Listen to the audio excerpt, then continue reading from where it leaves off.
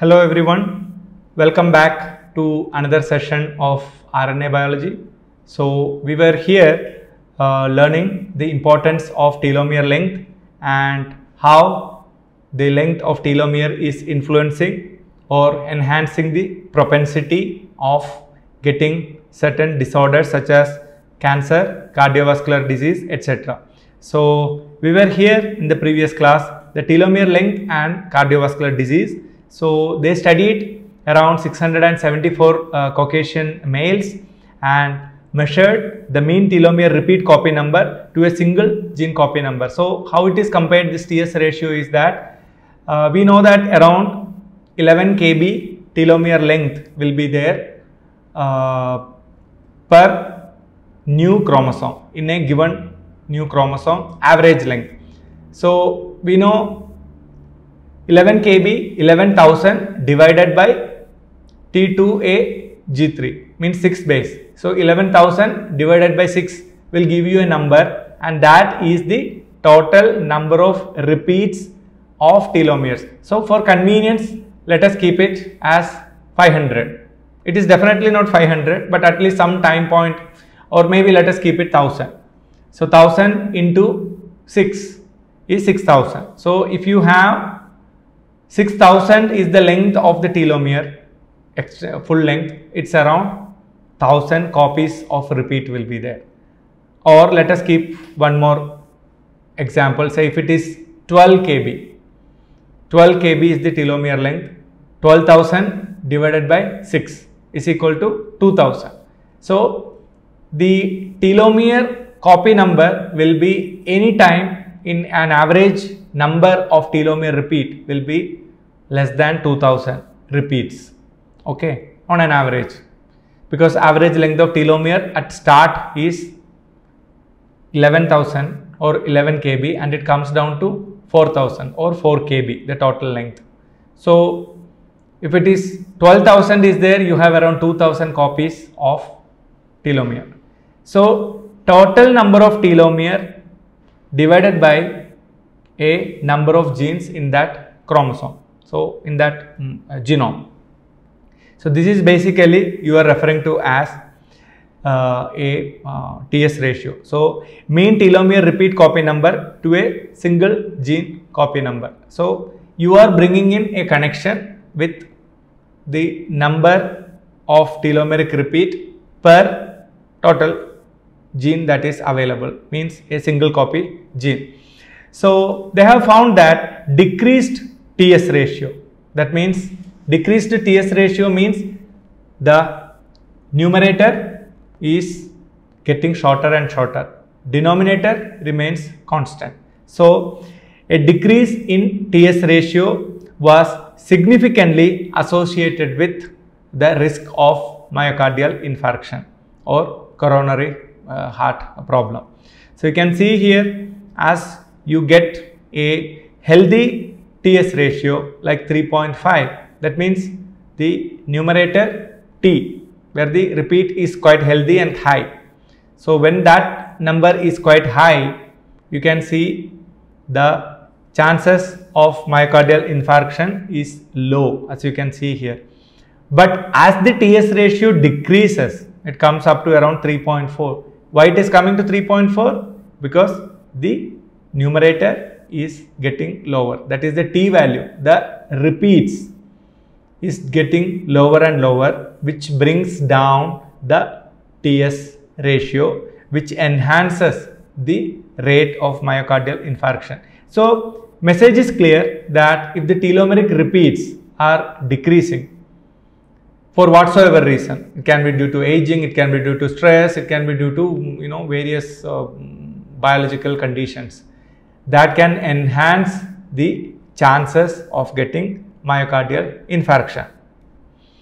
So cancer and age, cancer and age, uh, aging or the age, uh, calendar age have got a good connection.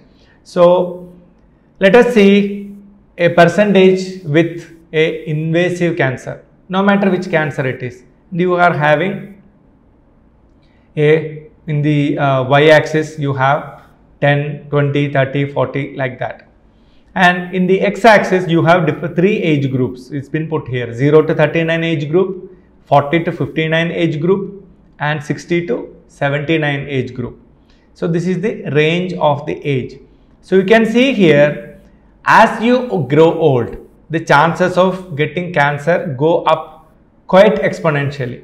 Like this is somewhat 39, that is the first group till second group, there is a linear increase. There is an increase, there is no, uh, it's not going parallel to the uh, x-axis. There is a moderate increase is happening. But once from your 59th age onwards, there is a exponential increase because your general body's physiology lowers in its efficiency and this can allow the detection of a misbehaving or improper cell and that will allow the survival of this so-called problematic cell and it has a connection with the telomerase activity also because cancer in order to survive mere dividing or division of that cell is not enough.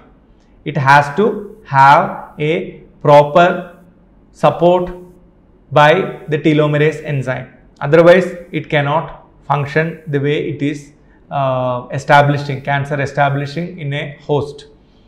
So, cancer rises exponentially in the final decades of life. This is a observed fact age dependent escalation is always seen uh, to be associated with high cancer risk. So, cumulative mutational load, increased epigenetic gene silencing and telomere dysfunction are the possible causes for it. We will revisit them once again. So, exposure to DNA damaging agents is one of the important factor to be noted because if there is DNA damage then only all the other problems comes in line.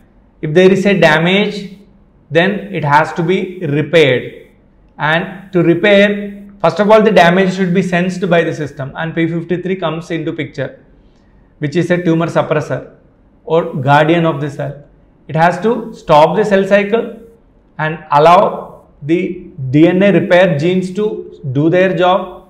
If DNA repair fails to fix it by uh, HR or NHEJ as you saw in the previous classes, if they fail to repair that, P53 marks the cell for apoptosis. If all these things fail, when P53 is mutated, all these things has to fail because P53 is not doing its duty or is not capable of doing its duty, then it will automatically lead to cancer. However, cancer can establish as a disease if the immune system fails to detect this damaged uh, cell and this cancer cell is successfully turning on the telomerase activity. If both of them are functional, like immune system is strong, immune system is able to detect that cell and dismantle it or get rid of that. Then that cell disappeared, mad cell disappeared, then cancer cannot come. Or the telomerase activity is not there. Naturally, that cell will not be able to make a proper survival because telomere length gets shortened and it will start showing senescence, it will reach the crisis and it will die or at least it will not propagate because crisis is helpful in many cases because it will not divide. So, cancer if it does not divide, it is a good thing. A cell is mad or it is a bad, not working properly, but as long as it is not dividing, it is okay. So, this all are connected.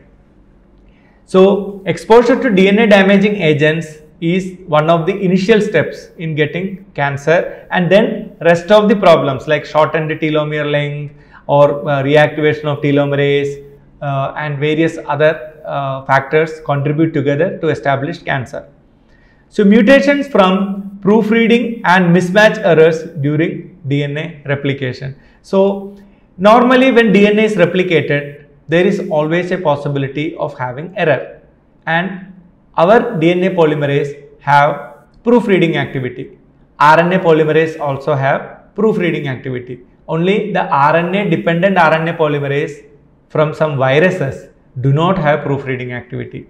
So what is proofreading activity? When a DNA synthesis is occurring or when an RNA synthesis is, is occurring, it will have a degradation in the 3 prime to 5 prime direction. While synthesizing, it is erasing also.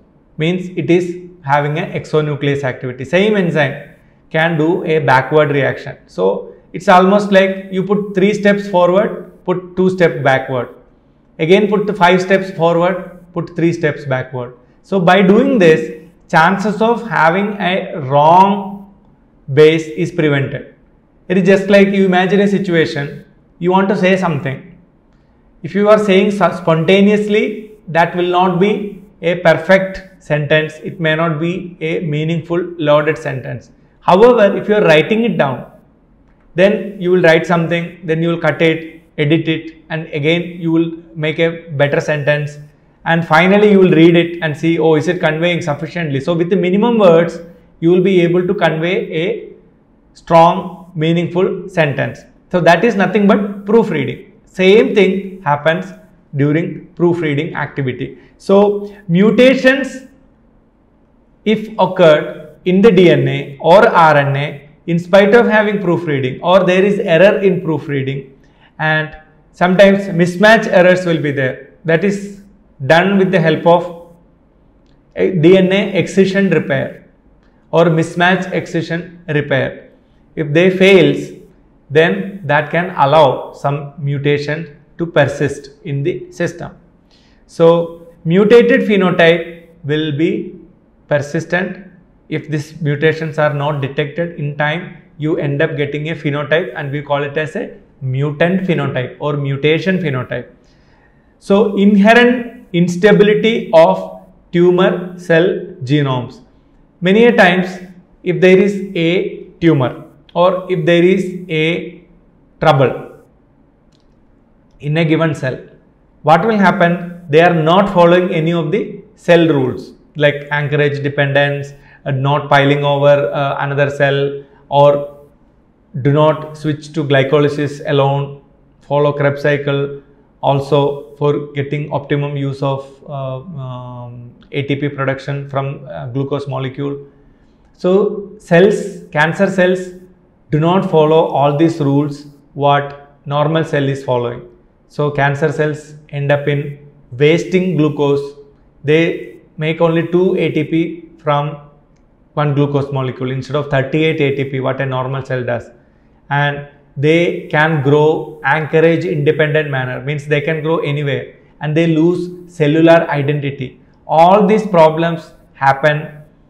Along with that you will end up having in unstable genomes also. Means like HeLa cells I mentioned in one of the earlier classes this is a um, very aggressive um, uterine cancer this people done when they did the um, genome studies, they found too many pieces of chromosome. Chromosomes break randomly, but still cell will find a way of surviving. Even the DNA is broken, there is lot of recombination, lot of joining here, there, because no proofreading, no repair, nothing happens.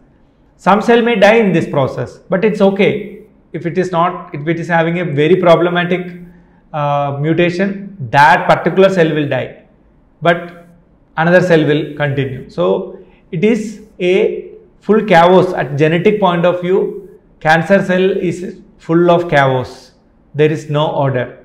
There is breakage joining here there everywhere. Cancer can afford to have that. Why? Because it do not work efficiently it do not follow the rules what a normal cell is following and it can afford to waste energy and it divides very fast hence even if 10 cells are dying, the remaining cells are okay and the cancer cell will be able to run the show. So let us now see what is genetic clock. Genetic clock is a interrelationship between the length of telomere and the number of times the cell can divide further. So some connection is there. It is just like you may have seen in some uh, reality shows etc like they will say you have 1 lakh rupees. How you how you want to spend it? You cannot put it in bank or invest. You want to send in in a wise way. How effectively you will use it so this is kind of a riddle like you can see in some games also children's games. So you have given you are given a fixed amount. So now everyone is given 1 lakh rupee how will you utilize it? It depends with a lot of talent. Some people simply buy toys you know maybe waste it buy food and some people use some other creative way which can you know give returns. So there are different ways. Same way the telomere number also is fixed. So it has to be utilized by a cell. How effectively it is preventing the shortening? Everything depends on maintaining the genetic clock. So telomere length is given in the y-axis and you have two groups of cells germ cells and somatic cell. And cell division continues no matter which cell it is. Somatic cell also divides germ cells also divides as the time passes. Here technically you can say the cell division as the passage of time or age of the cell or the organism. If an organism is living its cells will be dividing. So it will continue. Now you have something called Hayflick limit here. So somatic cell the telomere length decreases as the cell division progress as the cell division move from 0 to a fixed number here somewhere in the middle the length of the telomere comes shorter and shorter and shorter. Then it will reach a stage called Hayflick limit. Hayflick limit is a situation where the cell has to take the help of p53 and retinoblastoma proteins in order to make a living. So two scenario is possible. One is it will go through a phase of genetic instability. That means it has reached a Hayflick limit. Now the question is, should we go with these limitations or should we fix it somehow, the problem? Can we fix it? So the idea is simple. If a cell has reached a critical stage, it has to make a call how are they going to proceed further. As it the telomere length, once the telomere length reached starting from here, very high telomere length reached up to here because of cell division. That is Hayflick limit. Then as the division continues further, so Hayflick limit is reached at a stage where you have M1 senescence. That is the first initiation, first phase of senescence and then division is continuing with lots of difficulty and it reached an M2 phase that is called crisis phase. Crisis phase you end up having a genetic instability. So once it reached genetic instability that is an alarm bell that is a real alarm bell because genetic instability means cells are having problem and cells will struggle and it will have real trauma present in the genome if it is not contained then that all troubles will be passed on to the next generation. That means next uh, daughter cells. So we have to understand that this if it fails if it uh, limit or the crisis stage is not handled properly this can go to if p53 and retinoblastoma are missing it can go to a cancerous phase. So we should understand the normal point of a cancer progression or normal situation in which a cancer initiation can happen once it has reached Hayflick limit. That means genetic instability comes and it can start showing the real signs of cancer. So let us see about the role of tumor suppressor genes. P53 also known as tumor protein 53 is a transcription factor that regulates cell cycle and hence functions as a tumor suppressor. RB that is retinoblastoma is a critical protein required for cell cycle exit when dividing retinal progenitors differentiate into post mitotic transition phase or cells that is post mitotic transition but RB protein can be seen in other cells also. Here we are saying as an example. So both are important for maintaining a constant pace of cell division. So, they normal situation they continue to divide at the cost of telomeres. Telomere becomes short and short. Once the telomere length becomes shorter, the ends, the tips of the chromosome are less protected. They are protected, but their efficiency is coming down. Cells now enter secondary proliferative block. First proliferative block was in M1, M1 phase where the um, uh, Hayflick limit is reached and then you reach a crisis period that is M2 secondary and we call it as a crisis phase. First crisis is Hayflick limit once the telomere length reached a particular phase. Second is once the telomere length become further down. So it is characterized by short telomeres and this can lead to end to end fusion. Chromosomes can fuse end to end resulting in bicentric chromosome, chromosomes with two centromeres and it will lead to anaphase, bridges and apoptosis. Anaphase is the final stage of the mitosis. It has got prophase, metaphase, anaphase and telophase. So, they reach the final stage of their um, cell cycle. They or the cell separation. Next is telophase. Prophase metaphase anaphase and telophase. Telophase they literally separate. That is final stage. So they will have problem with anaphase. And they show rampant genomic instability and widespread cell death will happen. So, this can lead to real complications uh, eventually giving rise to a cancerous phenotype. So, let us visit the genomic instability in a different angle as you see in this picture.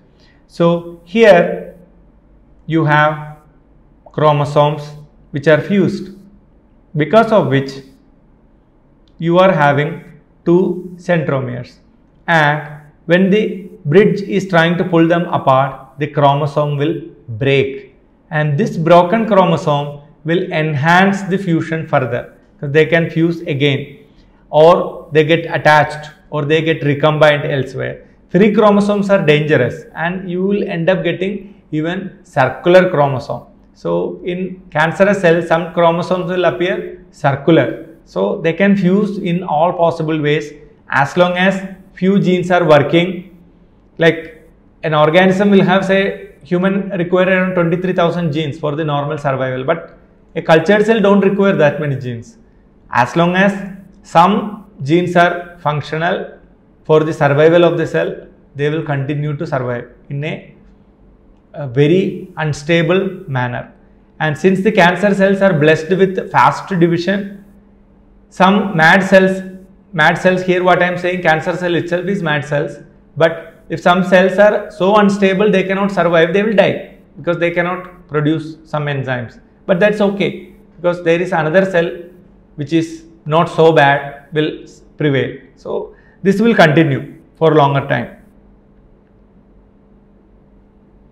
So, this stage at crisis stage this will continue and you eventually end up in getting uh, chromosomes or fragmented pieces here and there like you can see here they will go into pieces and no two cancer cell will have similar looking genome.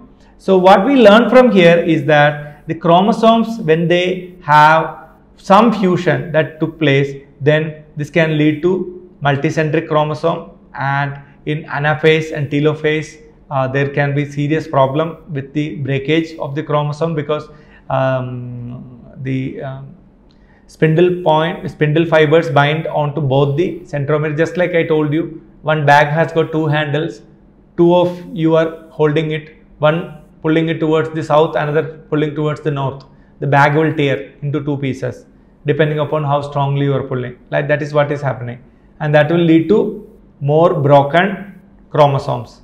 And this broken chromosomes can now effectively fuse either fuse themselves and look like bangles circular chromosome and or it can recombine elsewhere some other part of the chromosome or it can look quite weird in shape. And this will continue. This multicentric chromosomes will continue and every cycle they divide they can break.